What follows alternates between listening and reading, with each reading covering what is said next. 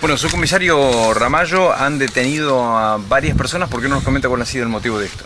Sí, hola a todos, buen día. Sí, tenemos tres detenidos por el momento por distintos hechos de robo calificado, donde bueno, se encuentra a cargo del juzgado número uno y número dos de esta ciudad.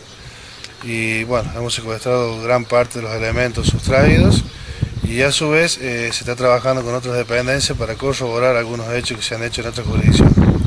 Bien, eh, ¿los tres detenidos son por la misma causa o distintos hechos? No, no, son dos distintos hechos. Tenemos por robo calificado a uno distribuidor de, de gaseosas Narampol, eh, tenemos un demorado y bueno, con otras causas son los dos restantes.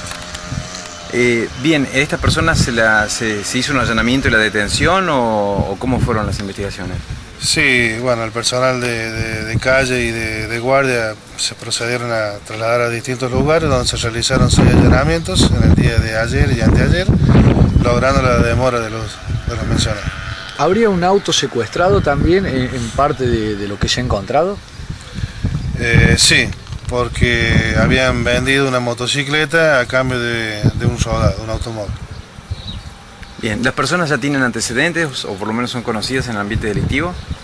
Sí, dos de ellas sí tienen bastantes antecedentes, bueno, con ilícitos en distintas jurisdicciones.